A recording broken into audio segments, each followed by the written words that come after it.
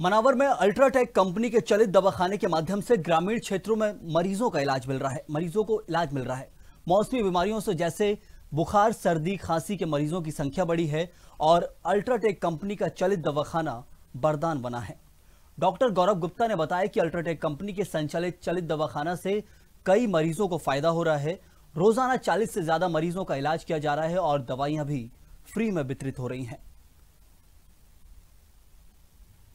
कम से कम daily visit पे हमारे पास में 35 से 40 मरीज़ रोज़ आ रहे हैं अभी इन दो महीनों में।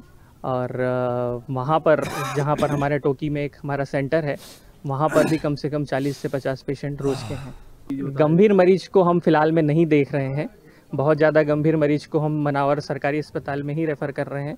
और इसके अलावा जो छोटे मोटे जैसे बीपी का मरीज़, शुगर का मरीज़ है, जिनका बीपी बढ़ा हुआ है उन लोगों के लिए हम फ्री में मेडिसिन डिस्ट्रीब्यूट करते हैं, उनके लिए शुगर का टेस्टिंग रहता है ईसीजी का मशीन है हमारे पास, हमारे सेंटर पर तो हम वो सुविधा भी इन सभी लोगों को दे रहे हैं।